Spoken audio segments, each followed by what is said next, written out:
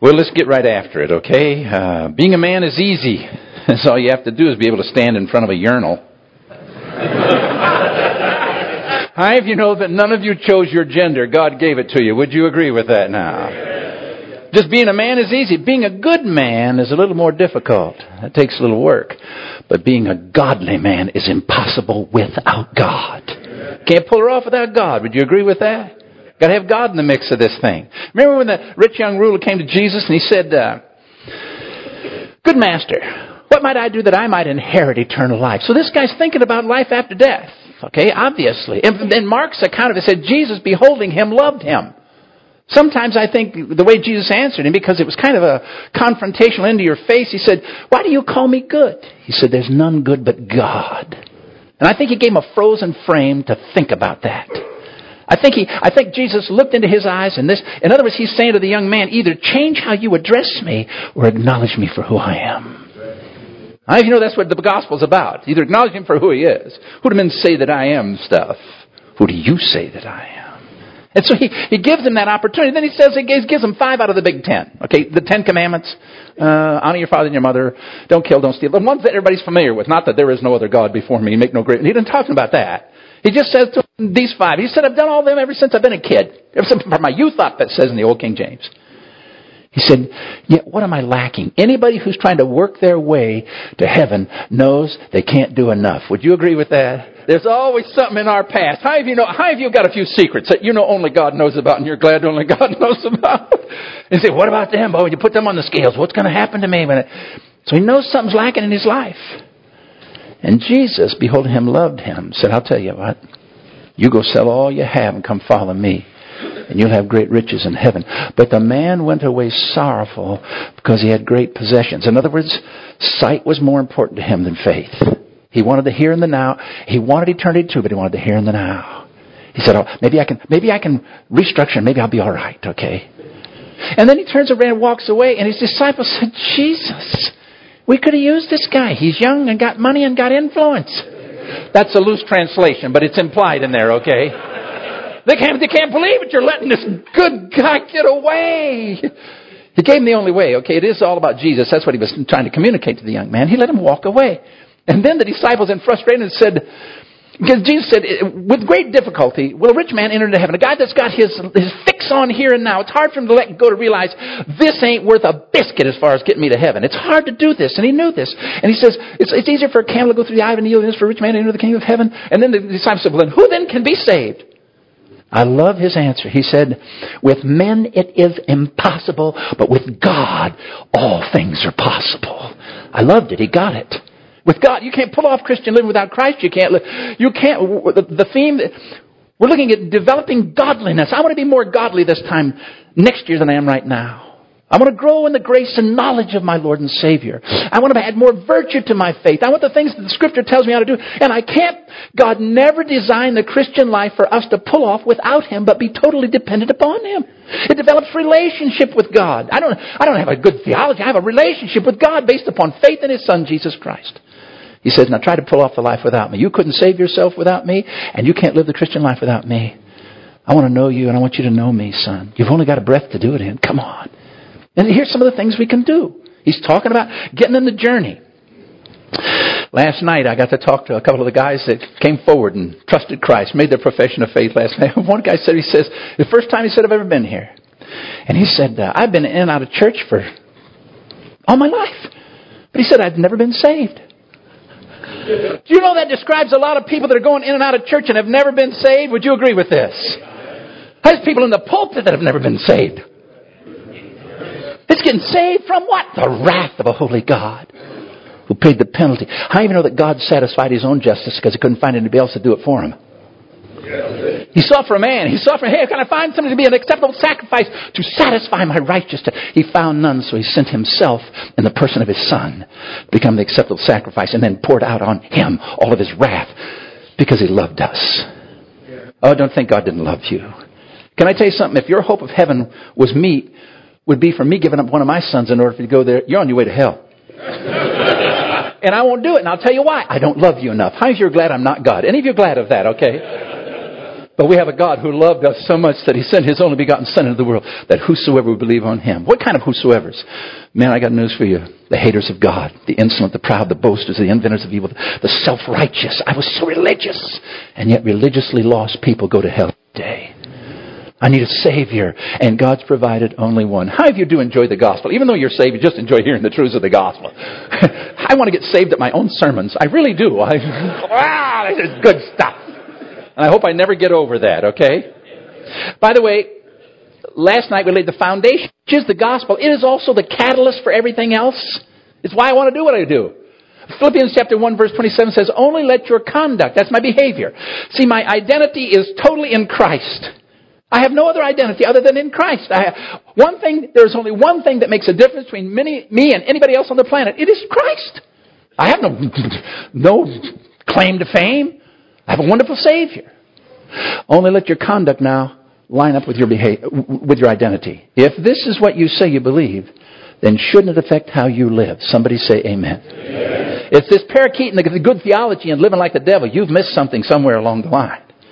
Okay, how do you know the devil does show up in us every once in a while? Would any of you agree with that? How of you have days you don't feel Christian, think Christian, act Christian, but you're in Christ? How of you have those kind of days? Okay. How of you are glad you're not based upon how you're living, but upon how He lived? How about that one? All right. I got a Savior. See, that's why the Savior came. Savior from what? The wrath of God that I justly deserve. The judgment that I deserve. He saved me from that. And now He has saved me unto something. For we're saved by grace through faith, not of ourselves. It is a gift of God, not of works, lest any man should boast. For we are His workmanship, created in Christ Jesus unto good works, but not by good works. A person who receives Christ should become a better person. But they're not a, just because I'm better does not mean I'm saved.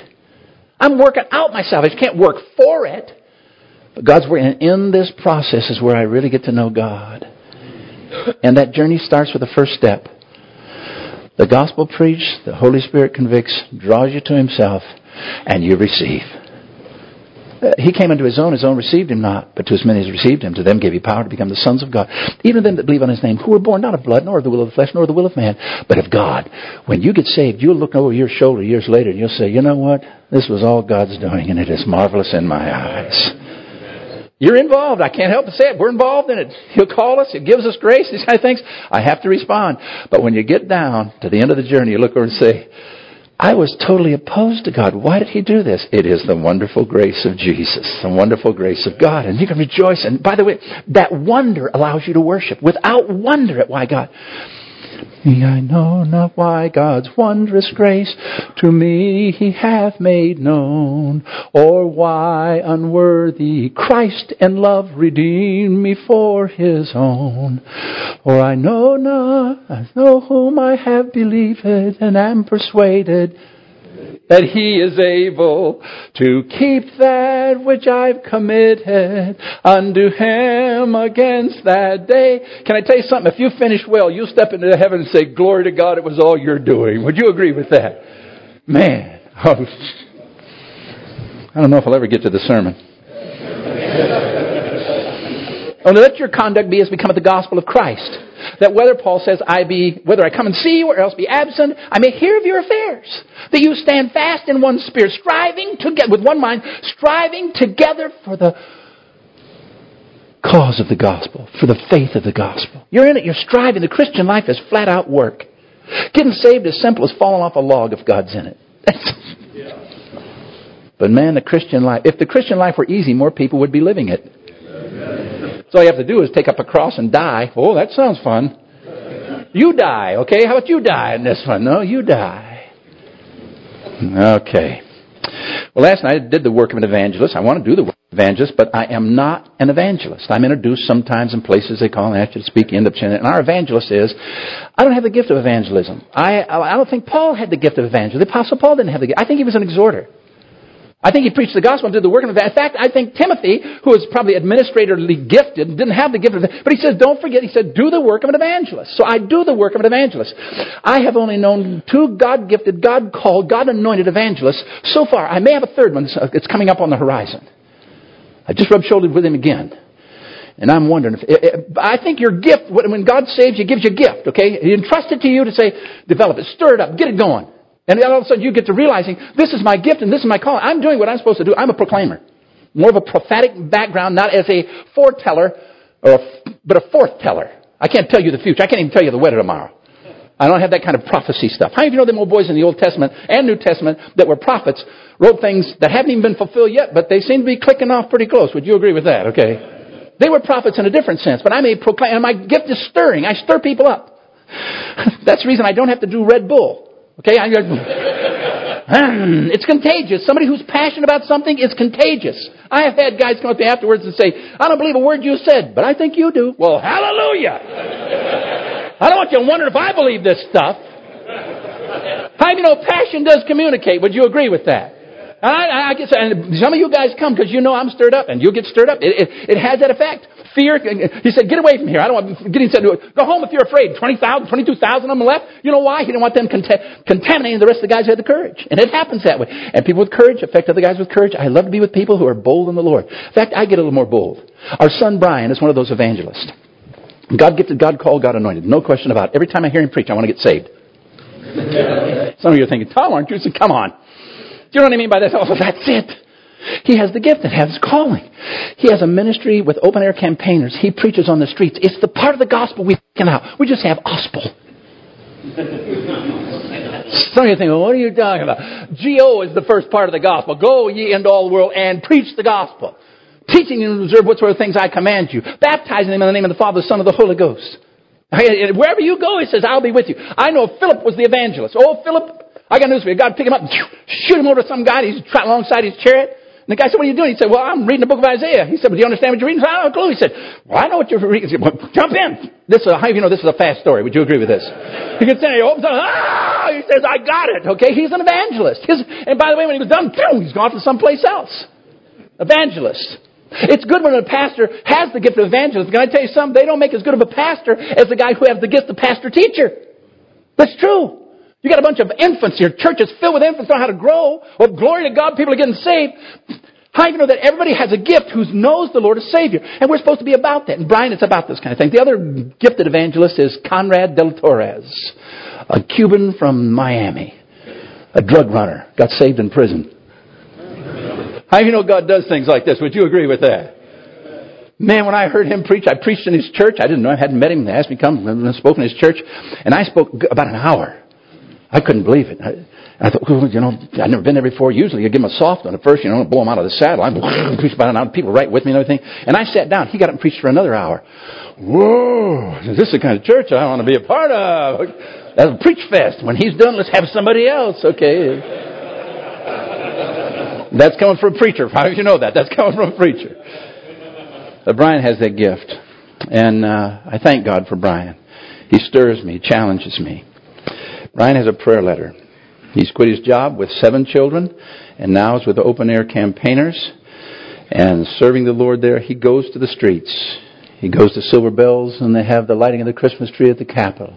Sets him up a little booth alongside the sausage vendors and everything else is going to be there and he preaches the gospel, and people stop, and he takes people from his church. In fact, his pastor here, I haven't introduced my sons. Ben, you just got here, and I'm glad you did. Would you stand up? This is our firstborn, Benjamin, and uh, he is.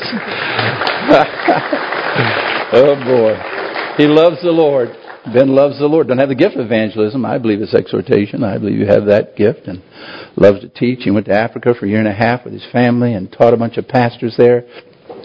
Grass hut, dirt floors and I think his gift really was revealed to him there. He loves to do this. He loves to study the Word of God. Loves the Lord. His pastor's right in front of him. Norm, one of the pastors, uh, another elder, Ron. I don't know who all you've got here. Okay, Bill's not here. Your other brother pastor, and uh, Anyway, then there's Michael, our son-in-law, one of them who's on staff up here, missionary serving the Lord, been here for seven years.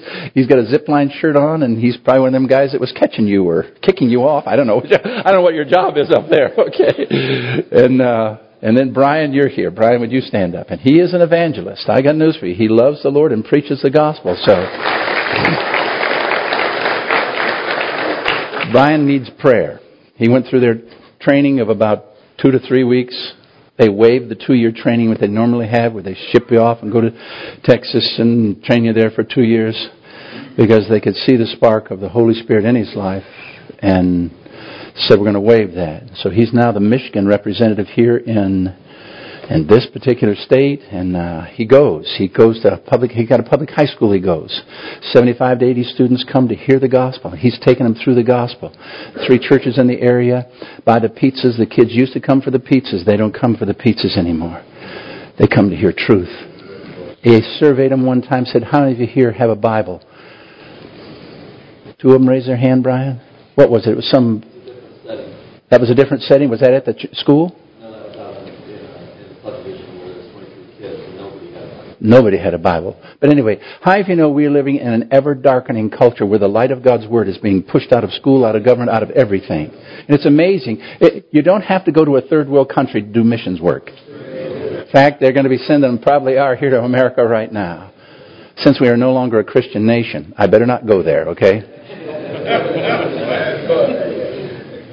but a nation of many faiths. Moving right along. I wonder what happened in the heavenlies when that statement was made. I wonder what things shifted, not to our favor. How you can tell I'd like to just jump into that right now, okay? No, it's not in my notes, and I never deviate from my notes. Is my nose growing at all? I don't even know why I write notes. I don't pay any attention to them. But I wrote these out this morning. The ink ain't even dry them. I purposed myself to put them on one page so you could get out of here at lunch, okay? But I haven't said anything on them yet, so.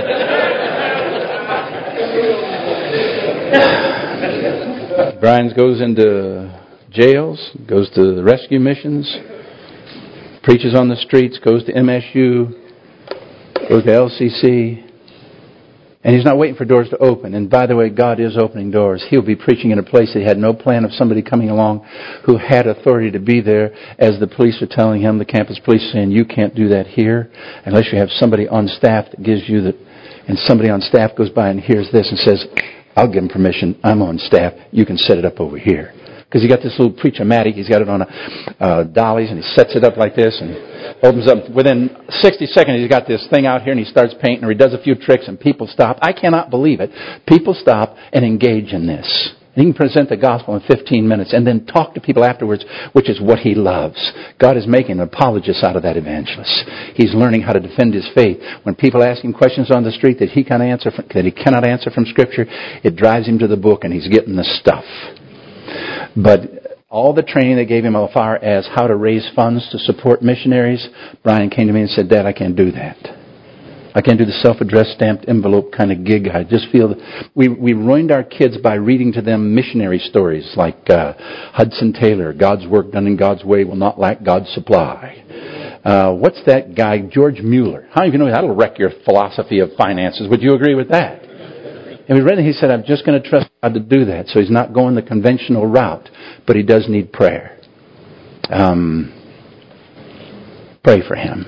He has a newsletter that shares his, here's his family, prayer request, what he's doing, where he's going to be, some of the people that he takes from his church, as well as other churches. He goes to churches and trains them to go out on the street. We've lost our, we're just Christian, we're not evangelical Christians anymore.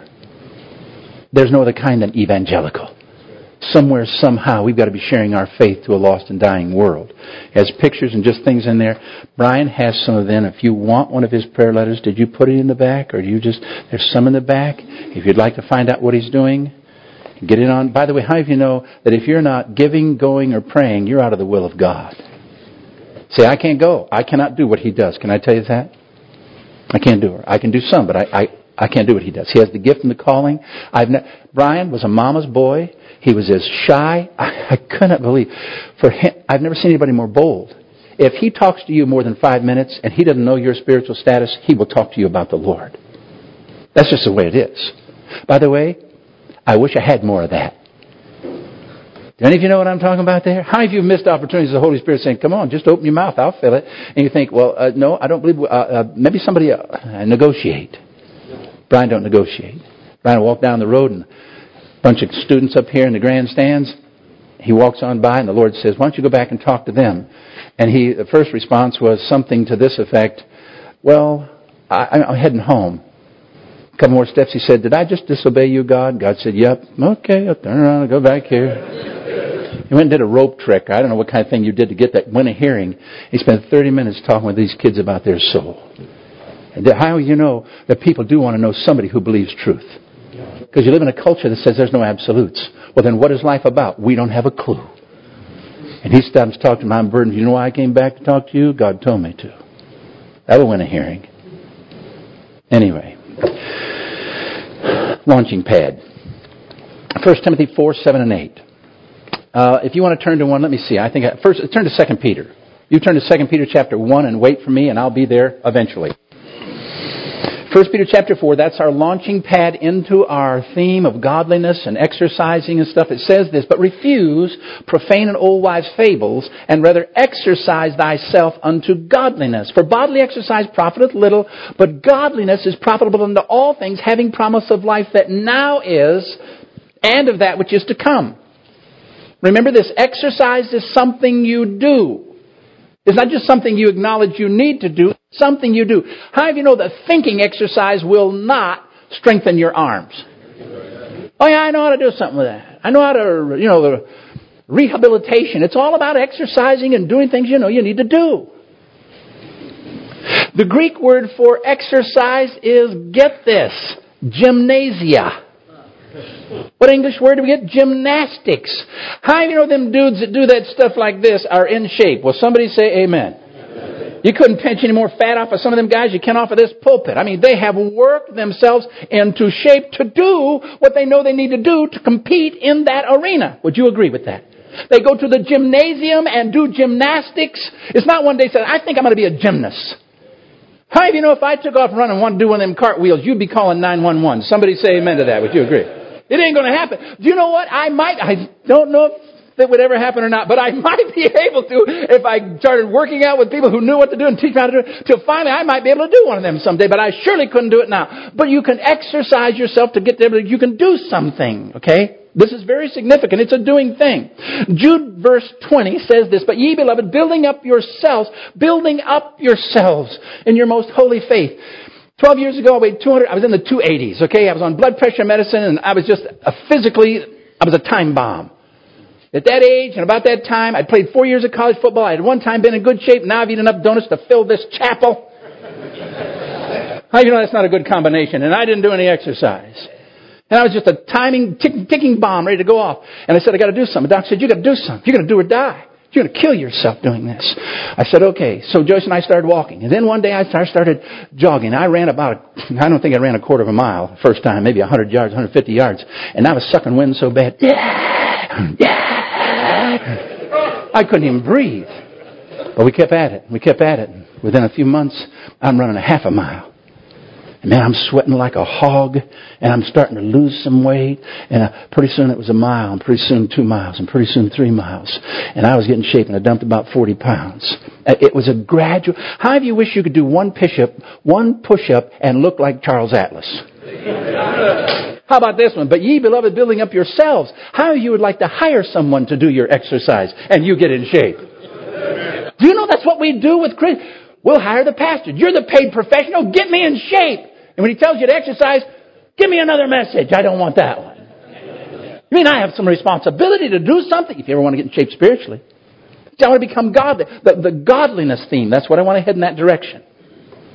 Listen to this verse. But ye beloved, I'll give it to you, but ye beloved, building yourselves in your most holy faith, praying in the Holy Spirit. I'll talk to you about prayer in a minute. See, and keep yourselves in the love of God looking for the mercy of our Lord Jesus Christ unto eternal life. And of some have compassion, making a difference. And of others save with fear, pulling them out of the fire. Now unto him who is able to keep you from falling and to present you faultless before the presence of his glory with exceeding joy, to the only wise God, our Savior, be glory and majesty, dominion and power, both now. I love that. You mean to tell me, Tom, that you could live a life that would bring God glory now as well as forever? See, it says, now. But ye of the says most holy faith. No. Our text verse, but godliness is profitable unto all things, having promise of life that now is. Your physical exercise profits you now and now only. It's over. But spiritual exercise profits you now and as well as in the life to come. Whoa. I'll take a piece of that one. Because this one here is a, and that one there is eternal. This is one grain of sand. That's the seashores of eternity. I can do something now that will last me forever. Harvey and I said last night, we lack incentive. I don't think I'm going to say anything new. This may be a new avenue to take toward the same old message. There's, a, there's an eternal benefit to living godly now, godliness, like God wants me to live. I need that. I want that. Now is fables, but refuse profane and old wives' fables. You know what a fable is? It's fictitious and it's man to man. You know what a parable is? It's man to God. Jesus taught in parables, not in fables. Say amen. amen. He didn't teach in fables. Some people want to accuse him of that, but he taught in parables which had to do with man to God. Fables have to do with man to man. Starlight, star bright, first star I see tonight. I wish I may, I wish I might. Have the wish I wish tonight. You'd be amazed how many people have that as their philosophy of life. They go to the casinos and wish themselves into something, hoping something. Um, when you wish upon a star. You know what? That makes a good fable. I mean, that Pinocchio, Jiminy Cricket, that's a good fable. But I sure wouldn't want to live my life based upon that. Makes no difference where you are. It makes a difference where you are. Please say amen to that. Would you agree? Where are you at? I think that's what, if I'm not mistaken, I think that's exactly what God said to Adam. Where are you? How do you think God might have known? And we never asked us, where am I? He didn't ask where you've been or where you're going. He said, where, where am I? Because this is the only time I've got. Yesterday's gone, and tomorrow may never come. Where are you?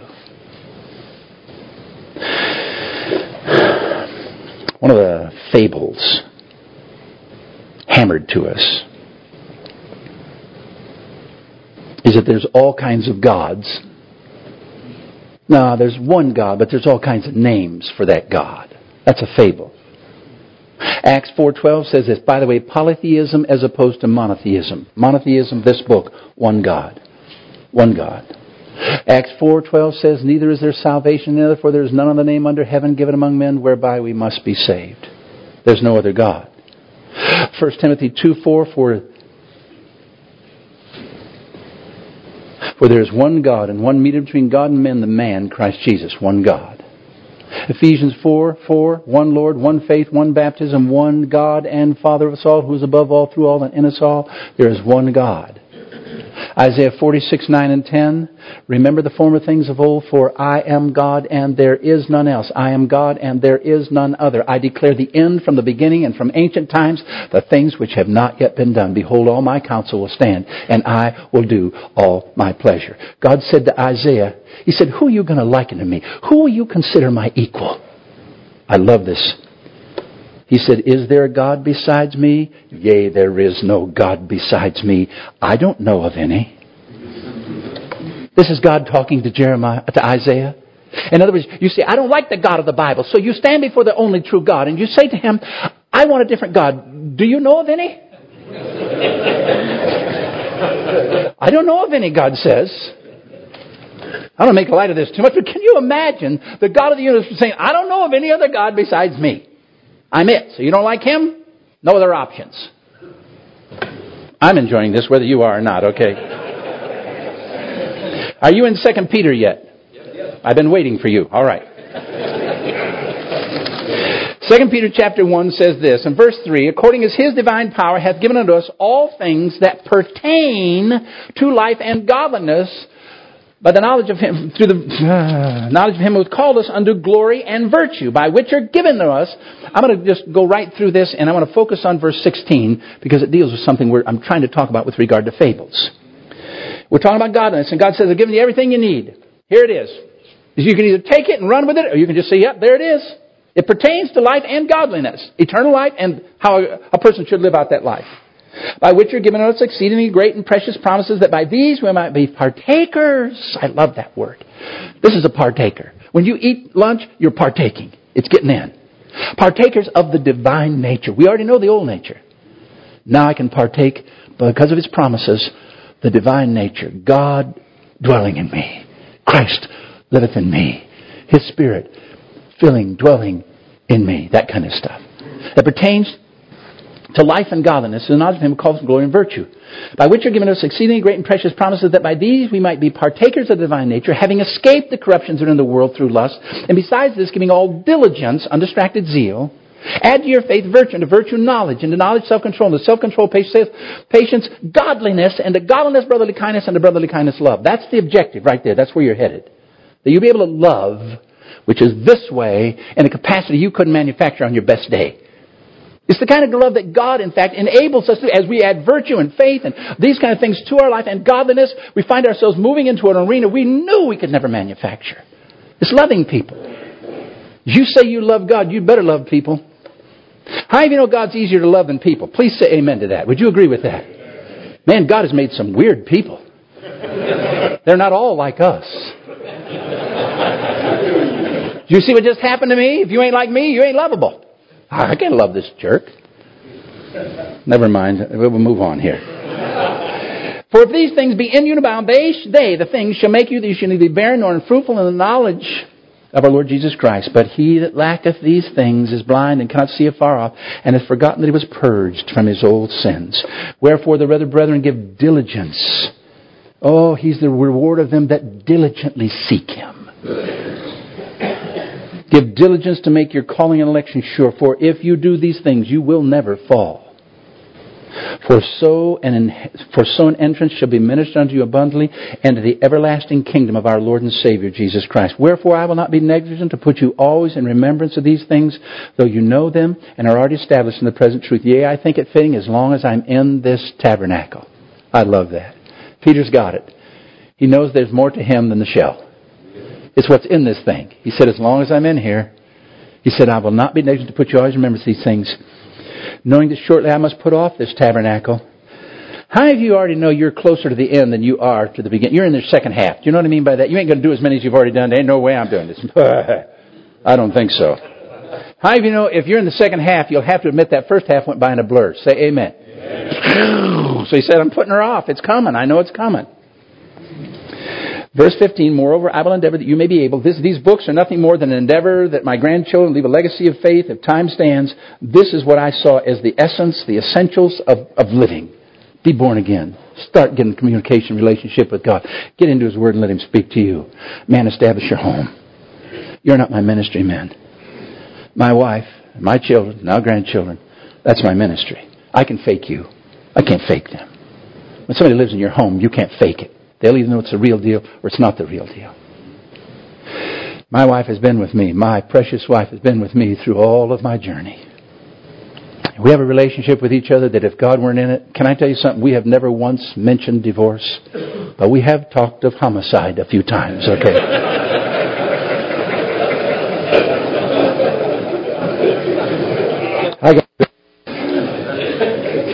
In fact, the hardest thing for me coming up here is leaving her.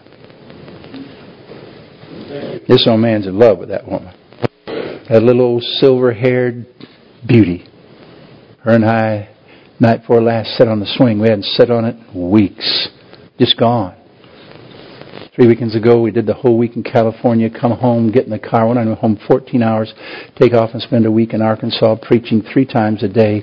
I was either studying, preaching, or with people. And you may think the, the ministry is a cakewalk. It it's the hardest thing I've ever done in my life. Then took off last week and did a weekend conference up in um, men's retreat in northern Wisconsin. Come home, we had a few days, and I said, honey, it was balmy out, moon, and we went and sat on that swing. And she leaned over into me. Good night. You think we was on a date? We was smooching, hugging, kissing, and talking about life, talking about growing old together. That's the way it ought to be, man. I know people have been married 35, 40, 45 years and getting divorces. I feel like slapping them. It's in Luke. Somewhere it's in Luke. I don't know.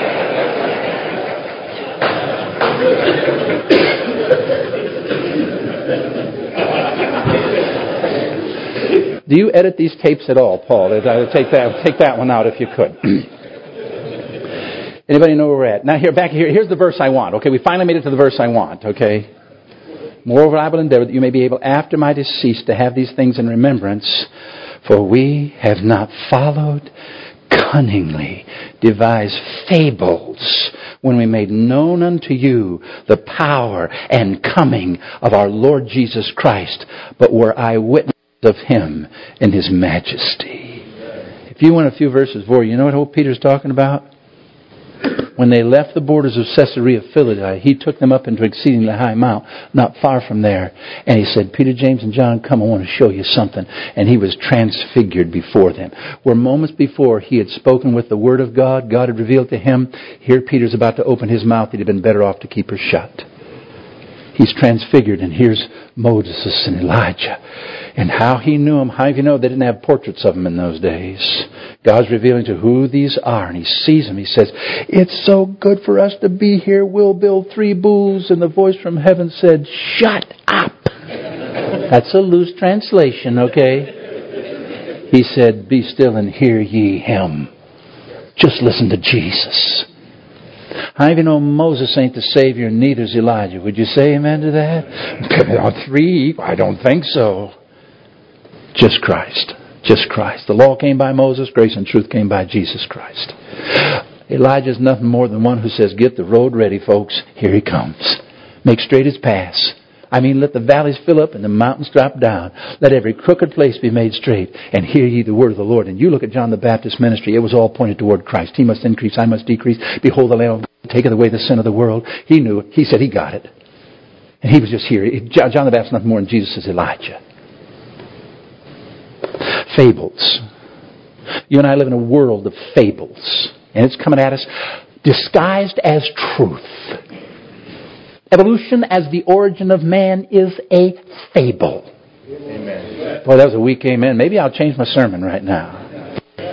You know, you're being bombarded constantly as fact that you and I, I watched something the other night. We were in the hotel and it was the history of the world in two hours. Any of you see that stupid insanity?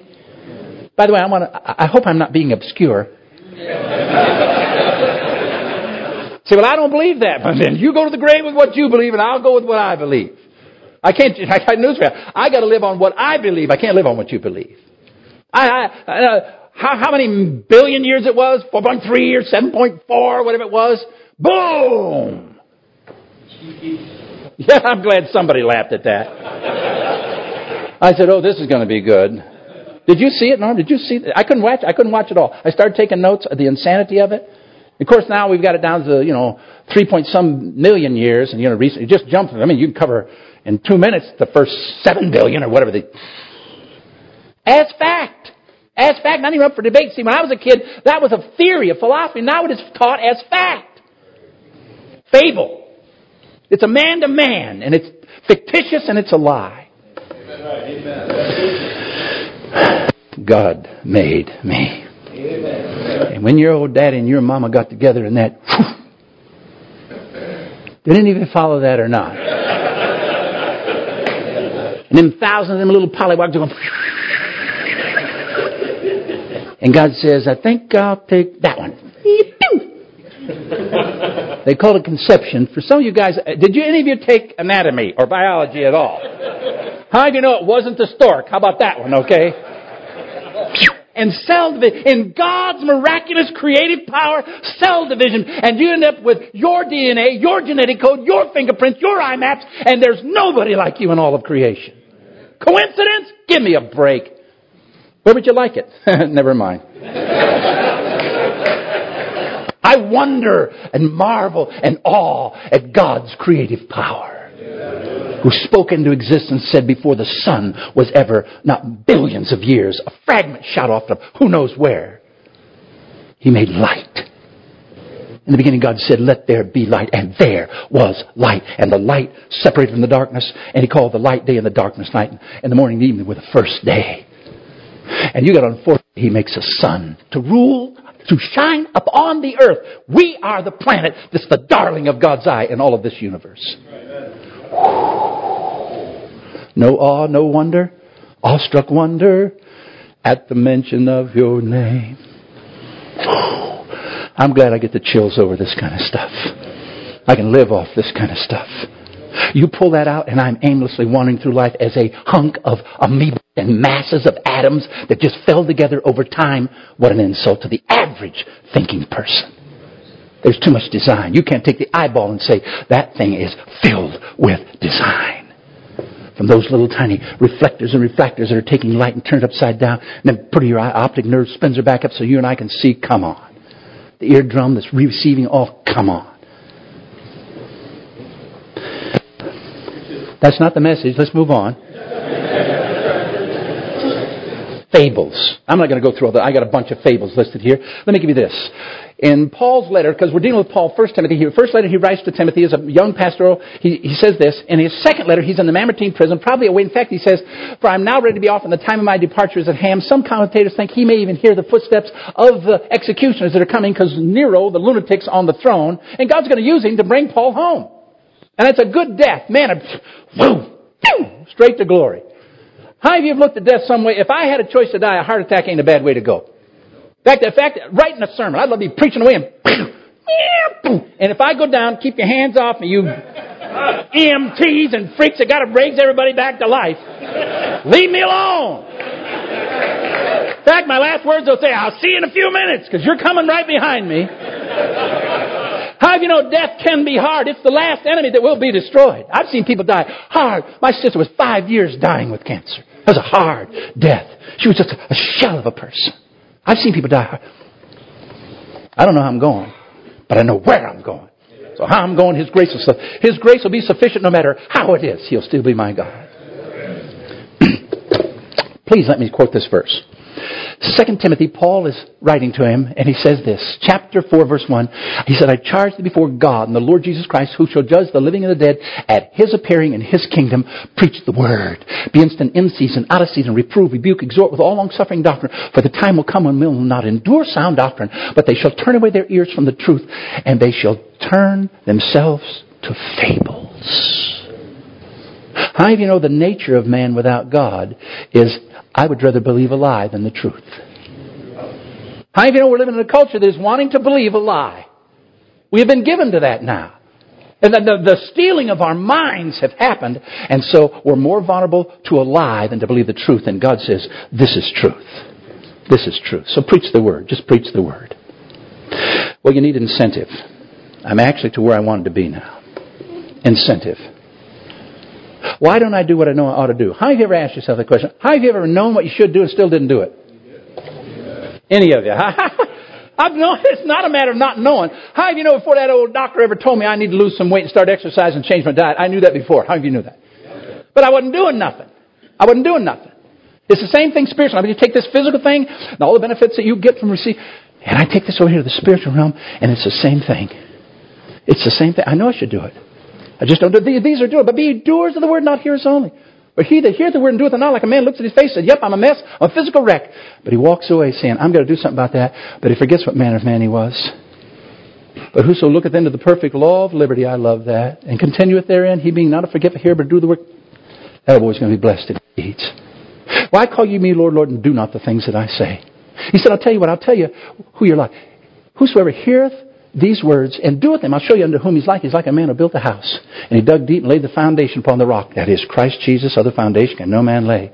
And when the storm arose and beat vehemently upon the house, it couldn't even shake it. Why? It was founded on the rock. He got that thing.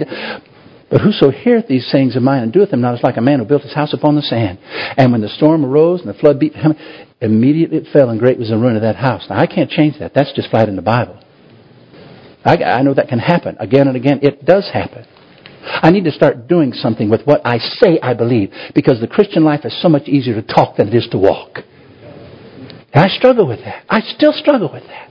And you'd think I'd know better. I do know better, but I still don't do everything I'm supposed to be doing.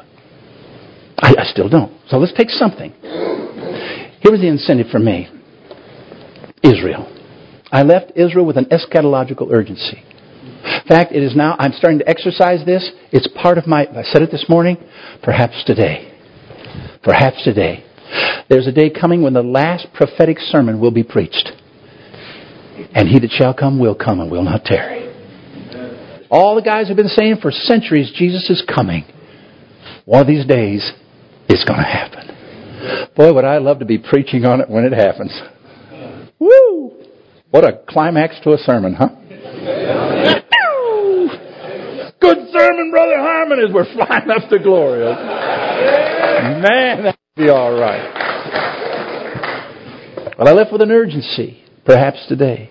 I'm starting to exercise myself because I have lived most 99% of my Christian journey and never gave God a thought about He might come today unless I was studying or preaching or reading. I keep living like every day's the same and He's never going to come.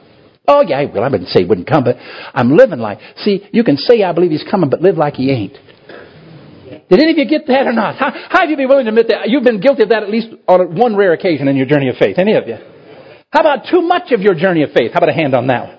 Too much of my journey has been lived like it's going to be today and like tomorrow, and it's just going to continue on as it always has from the beginning of creation. Israel's got that urgency. Our guide, his name was Yuval, beautiful, dark, olive skinned, heavy bearded man, kind of like what I expect Jesus to look like. How you know Jesus will not look like a Caucasian Republican when we get to heaven? Would you agree with that? Good night. Our guide was a flat out handsome man. He'd fought in the Yom Kippur War. He was a, there's a name for whatever they call an Israelite who's born in Israel. His dad came from another country and fought in the 1948 when they declared their independence war. I mean, this guy was just, well, anyway, he'd been leading tours for 20 years, a decorated veteran in the Israeli army. And four years ago, finally, one of the guys on our team went up to him because he's talking like a believer, and we're thinking, we don't know if this guy's a believer or not. He's just leading the tour. He's using scripture and stuff. He said, Is Jesus your Messiah? He said, Oh, yeah. He said, I've been leading these tours for 20 years. He said, four years ago, God connected dots. We missed our Messiah. Jesus says, I went, whoa, man, he got it. And what a blessing. From then on out, we felt brotherhood kinship. Oh my goodness, what a blessing. And he would tell us facts. He was just constantly sharing things with us. Nine days we were with him. And he said, uh, 20 years ago, 80% of Israel was agnostic. They believed in God, they didn't have a clue who he was.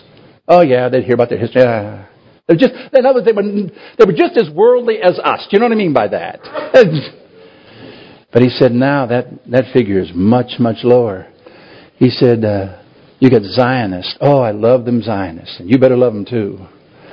That are looking for his first coming. That's what they're hoping their Messiah is going And their things are set up. Oh, can I tell you things are set up. I love to go to the Wailing Wall. There's a guy with a yarmulke on with the curls. He's packing a 9 millimeter Glock next to his prayer shawl. These people are ready for something's going to happen. Okay. Oh, it was just cool. It was just cool to be there. And he said, we've got it. Why is all the world focusing on this little piece of real estate that isn't bigger than a postage stamp? Why is everybody hating this place? Because God said, one of the, just before the coming of the Lord, all the nations of the world are going to hate you. That means all means America. And we're not far from that. Of disowning our allegiance and acknowledging a claim to a Palestinian state, and we acknowledge that, and UN buys that. Can I tell you something? You got a mixture for the coming of the Lord. How close? Come on. You don't have to read your Bible. Watch the news. It'll speak of this now. My chill out time. Do you know what? When God gave them this land, the land of Canaan, Mediterranean, there's a valley there. I got the first time I got to preach in Israel. I had to preach. I didn't have to. I got the privilege of preaching four times in Israel, and the people we went with they paid for my ticket. And we paid for Joyce's. They paid for my ticket if I'd preached four times. And they tell you that morning where you're supposed to preach. And they wanted it 15 to 20 minutes. Don't get your hopes up. I did it then. I'm not doing it now. Okay. and I said, okay. They said we want you to speak at Megiddo. Megiddo is the mount. Megiddo is the valley. If you put the Aramaic word har in front of Megiddo, you have Harmageddo. Anybody know what that word is? It's nothing more than Armageddon. And I'm standing up here, the fortified, one of the four fortified cities that Solomon fortified to overlook a valley that if you're coming from Af- Af- here's Egypt, okay? If you come down the Gaza Strip, the Sinai Peninsula, and over here to Egypt. How do you know them places are on the news today? Down here to Egypt, Libya, North Africa, Ethiopia, right there. The, the largest continent on the planet is Africa. And if you want to go from Africa by land, and you want to go to, let's see, you come up through, you have to go through this valley called the Valley of Jezreel. It's also called the Valley of Slaughter. It's where, uh, you talk about biblical battles that were fought there. Unbelievable. At the end of the valley, at Mount Gilboa, is where Saul and Jonathan died in a battle. I mean, this is where Deborah and Barak fought against the Midian. Ah, uh, unbelievable things happened in this valley. It's also called the Valley of Slaughter. And in the last great battle that will ever be fought on the planet will be fought between God and his forces and the devil and his forces. Will be fought in this valley. And I'm standing up here looking behind where they have excavated down to the Solomon's, when Solomon in fact fortified the city. Had 150, 200 white stallions that ran chariots that if something went down through the valley, because you had, if you're going by land and you're coming from Africa, and let's say you want to go to the east, do you want to know where you go? You go up through Israel to a town called Damascus, one of the oldest cities on the planet, and you hang a right, and you find yourself at the Euphrates going down through a place you may have heard of, Iraq, Iran, Afghanistan, Pakistan. You keep going, you got India, you got China. You want to go from Africa to this part of the world, trade routes, you got to come through this valley. If you want to hang a left at Damascus, you know where you go? You go through Turkey, you go through Greece, you go through Italy, you go through France, England. Can I just eliminate all them little small countries and jump into the USSR? All of the world at this time has to travel. God strategically put them there so they would evangelize the world. The trade routes of the world went through this. At the north end of this valley, oh, at the north end is Mount Carmel. Anybody know anything that might have went down at Mount Carmel? This wild-eyed prophet said, never mind, I can't go to, I love that scene. I just love it. Uh, maybe he's out to the bathroom right now. Nothing's happening. I want you soaking mine down. Hit it! He didn't do it that way. Now, would you agree with that? I'm giving you the really abbreviated version of that baby. And what did the people say? The Lord, is God. The Jehovah, He's God. Jehovah, He's God. Not Baal. They killed all the prophets of Baal. We got to stand up there. When we looked down there, and we went down in the valley, right down here, we looked up there and we saw an Air Force base. We didn't know what it was when we saw it. It wasn't until we was in the valley that five Israeli jets went over us at treetop level, and it literally shook us. We thought, oh my goodness, are we under attack? And our, our guy goes, that's our security system. No problem. He said, you know that little two runways like that that you saw in that valley from down at Mount Carmel? He said that's an Air Force base. He said it's all underground. They come out of there at 400 miles an hour, and they have the length of a flight deck on an aircraft carrier, and they're airborne. He said that one that goes like that, they land them like they would. He said 60 seconds from the time they hit the ground, they're back under this bunker.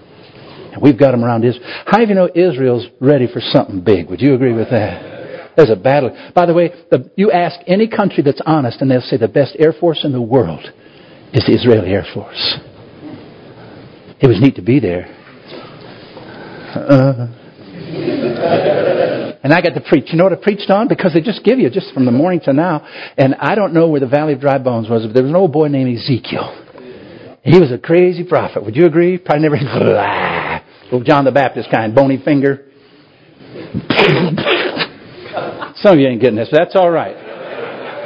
And he's living with the common people over in Babylon, the captive, and saying to the people, I told you that what Isaiah and Jeremiah were saying were true. We didn't believe it, and God fulfilled His prophecy against us, and we're here. And Daniel's also another prophet, and he's inside the, the palace. He's doing his ministry there, and Ezekiel's out here doing his.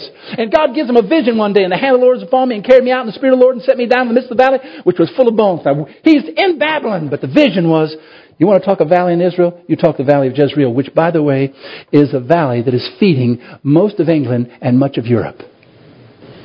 It's feeding them. You want to know why? When, when they took it away in 48, Arabs and all that been out of shape, wasn't worth anything anyway, just a desert.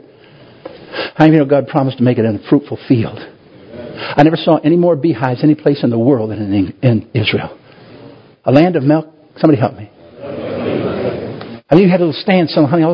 How do you know that if you have bees, they're for purpose of pollination? Fruits, I mean, you talk about pollination. And you know how they irrigated? They ran their hoses down and put a little hole in it. They didn't waste a drop of water. Water's precious there. You know one of the greatest reserves of water is in the world, in that part of the world? It is not far from Jerusalem. You know what the Bible says? When he touches his foot down on that Mount of Olives, she split, it says, water's going to gush out of there and change the salt sea and turn it into fresh water. Amen. Oh, what a coincidence. or is this accurate? I mean, when I left there, I said, you would be hard pressed to convince me this book isn't accurate. I'm talking about details. From when you come out of the place, you come out of the city, and you turn to the left, there's a high place there. They've uncovered it. There it is. In the town of Hazor. When they said Joshua burned her down, they have found this city that's been, cities have been rebuilt, rebuilt, rebuilt. They found at the timetable absolute ashes and cracked stones from the heat. Joshua burned her. What a coincidence. When we're down walking through this tunnel where they've excavated four stories down, we're walking along the wall of which the Solomon built his tunnel on, four stories down, in a place I didn't like it because you had to bend down. It's just hewn out of rock. We got down here to this open spot, and he, he said, you see this big rock right here? The stone cutters messed up on it. They took a, they've been to cut, there's grains. I don't know about stone kind, but there's grains and granite and different kinds of stone, just like there is in wood, and you can cut it. And they hit this thing and a big block come out of it about like this. So they said, we can't use that one there. We will start the building right here on it. The stone which the builders rejected, the same has become the head of the corner. Coincidence? I mean, coincidence? I mean, everywhere you looked, he's just, he's just small talking. And we're realizing, chapter and verse, chapter and verse, this book is accurate. I don't know if it's accurate about the things that have been? It might be accurate about the things that will be. And there's a, there's a message. We need to get on board on this thing. Uh, it should be the incentive I need. Boy, would I love to be spiritually in shape when my Lord doth come. I love to meet Him confident and not ashamed. I've got no incentive. God, take me to the next level. I've been walking along like this. God, help me to get going. I feel like I've just been living off yesterday's grace. And God has been good and been merciful to me. But I think there's more. I think God wants to reveal more to us in this day in which we live. I quoted Ezekiel 37. Oh, Son of man, can these bones live? And I said, O Lord God, thou knowest. And he said unto me, Prophesy upon these bones, saying to these bones, O ye dry bones, hear the word of the Lord. Thus saith the Lord God upon these bones. I will cause breath to enter into you, and you shall live. And I will lay sinew upon you, and bring up flesh upon you, and cover you with skin, and put breath into you, and you shall live. And you shall know that I am the Lord God. That is happening in Israel. Israelites who have been just caught up in this world are now caught up in something totally different. Why does the world hate us so much? We have done them good. Why? There's a reason. God said they're going to hate you. For my name's sake. He said, I saw them all laying there, lifeless corpse, but there was no breath in them. What's happening right now is the Spirit of the Lord is moving on Israel. From unbelievers to the messianics who are being evangelistic. Man, they're taking it to the streets.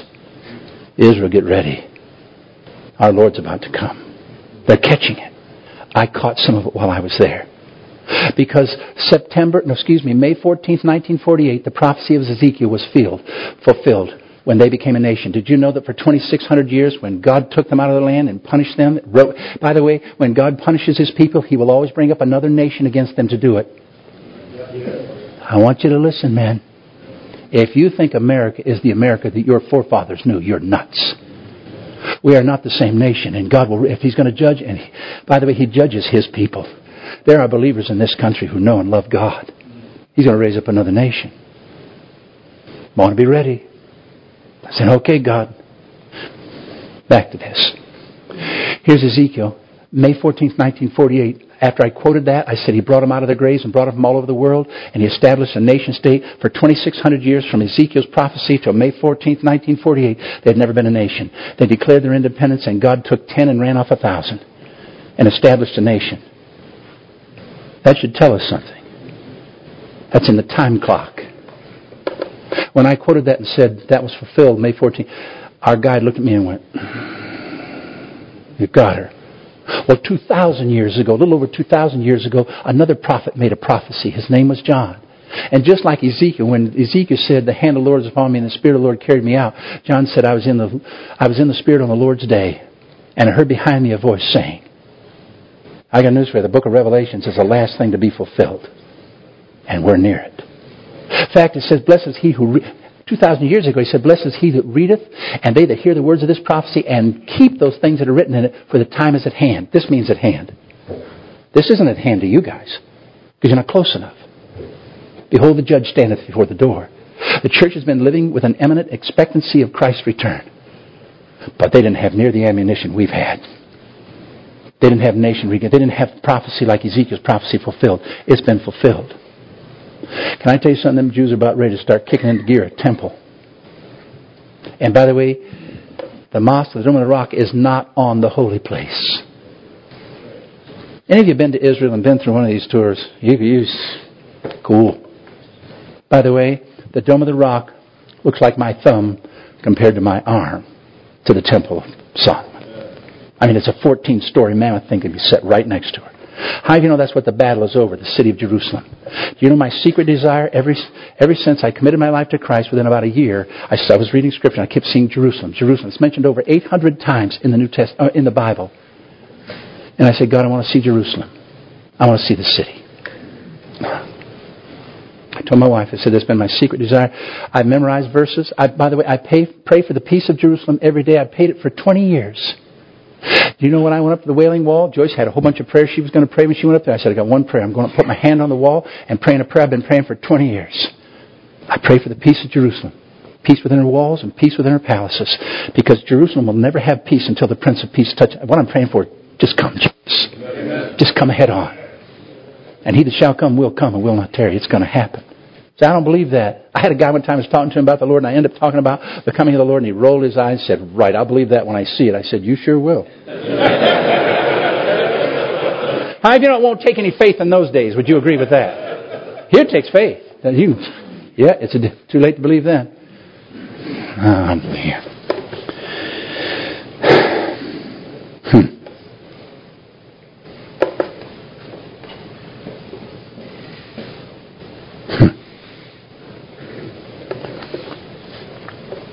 Really wanted to close with something different than that, but we're out of time.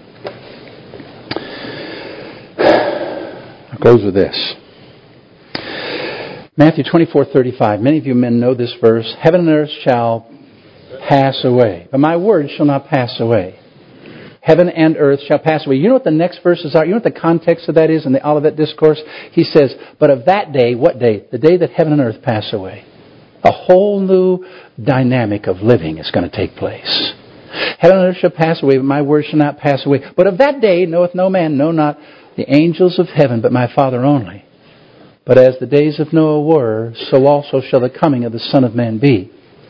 For as in the days before the flood, they were eating and drinking, marrying and giving in marriage. You know what that means? Business as usual. Everybody's living like you got another tomorrow.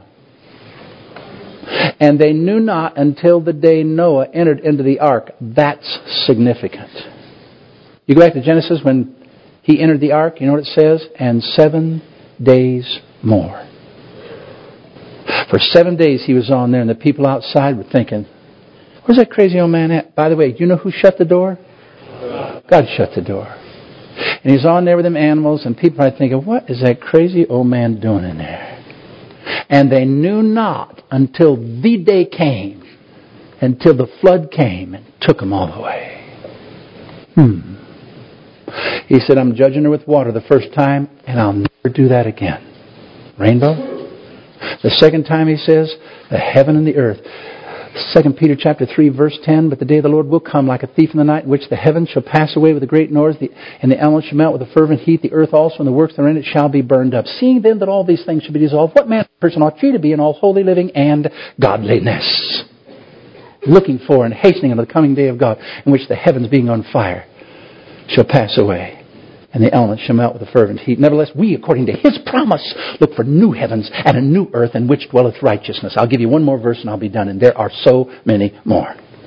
Revelation chapter 21, verse 1. And I, John, by the way, he's been seeing things that have been freaking him out. When he got a glimpse of who Jesus is, this one that's coming back, not a lamb to be slain, but a ruler to rule, he said when he saw him, he fell to the ground like, like he was dead. And God said to him, Come on, I want to show you some things, and I want you to write them down and send it to the seven churches in Asia. I want you to do this. So he's got him, he's revealing these things to him. Just one thing. Now, this is one of the last things he sees. And I saw a new heaven and a new earth. Why? Because the first heaven and the first earth were passed away, and there was no more sea. Over 70% of this globe is covered with land masses of water, with masses of water, bodies of water. I cannot imagine a heaven and an earth where there is no sea.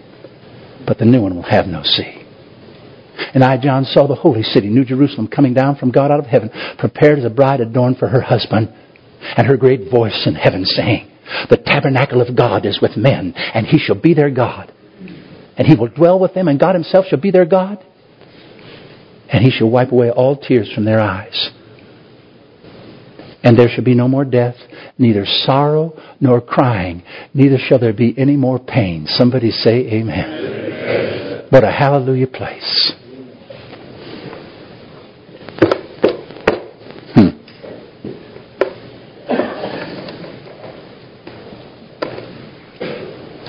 Heavenly Father, take the avalanche of disjointed thought, and it certainly has been there. I've not had Roman numeral 1, 2, 3. And God, I, I confess the intent is to stir.